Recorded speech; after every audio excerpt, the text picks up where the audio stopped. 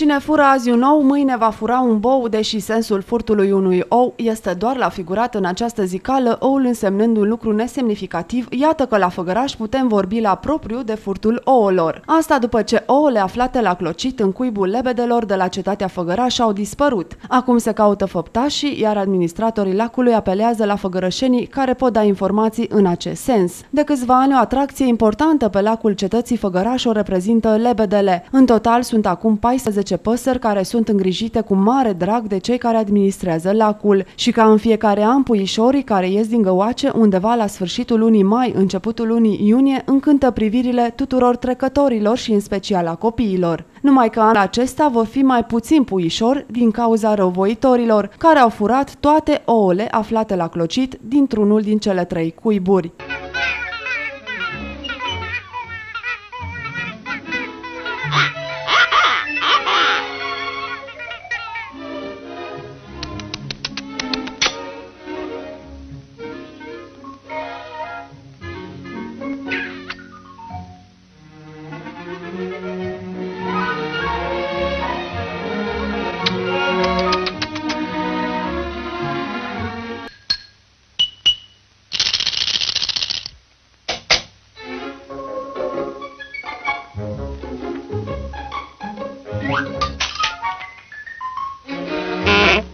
Așadar, una din familiile de lebede a rămas fără pui. Un incident sau o știre, o, un lucru la care niciodată nu m-am și fi gândit că va ajunge pe ecranele televizorilor. Duminică au dispărut ouăle dintr-un cuib.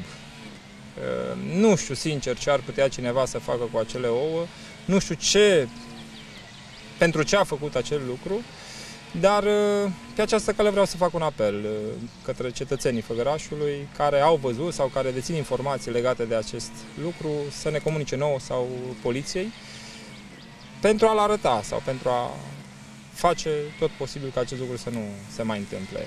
Ce ar fi putut să facă răuvoitorii cu ouăle, nimeni nu și închipuie, mai ales că erau la jumătatea perioadei de incubație. Noi am, făcut, noi am făcut tot posibilul, am întărit chiar și acest an, am întărit acele cuiburi, am dublat plasa, am dublat uh, trestia, am, am făcut tot posibilul. Nu știu ce am putea să mai facem pentru a arăta comunității că sunt ale noastre, ale tuturor și trebuie cu toții să ne îngrijim de ele. Administratorii lacului au anunțat și poliția despre acest furt, însă și cu ajutorul celor care pot da informații, aceștia speră să identifice pe hoți care să fie sancționat pentru fapta lor.